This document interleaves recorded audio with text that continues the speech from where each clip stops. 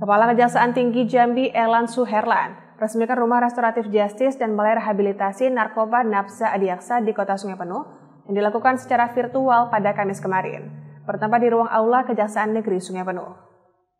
Kepala Kejaksaan Tinggi Jambi Elan Suherlan resmikan rumah restoratif justice dan balai rehabilitasi narkoba Napsa Adiaksa di Kota Sungai Penuh yang dilakukan secara virtual pada Kamis kemarin, bertempat di ruang aula Kejaksaan Negeri Sungai Penuh.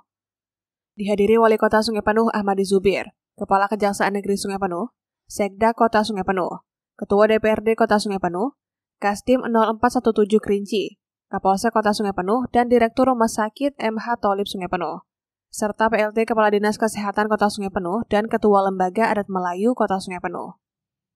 Kepala Kejaksaan Negeri Sungai Penuh Antonius Despinola mengatakan, di Kota Sungai Penuh terdapat 13 rumah restoratif justice 4 di wilayah Kecamatan Pesisir Bukit, dan 9 di wilayah Kecamatan Kumendebai.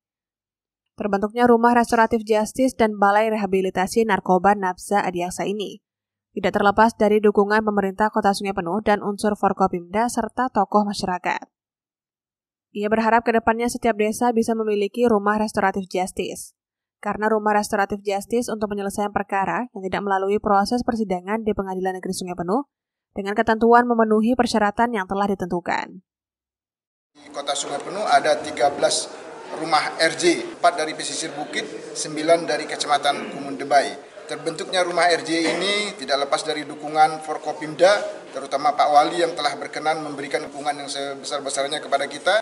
Dan kita juga meresmikan Balai Rehabilitasi Narkoba Adiaksa. Harapan kita ke depannya nanti bisa memiliki Balai Rehabilitasi narkoba dan bisa memiliki rumah RJ setiap desa. Melalui rumah RJ itu melakukan penyelesaian perkara tidak melalui proses pengadilan tetapi proses restoratif justice mengembalikan kepada keadaan semula.